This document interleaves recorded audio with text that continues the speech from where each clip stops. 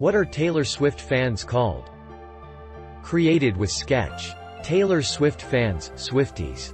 Taylor Swift fans refer to themselves as Swifties, a cute play on the singer's last name. While some celebs like to bestow the nickname upon their fans, it looks as if the Swifties of the world came up with this one all on their own.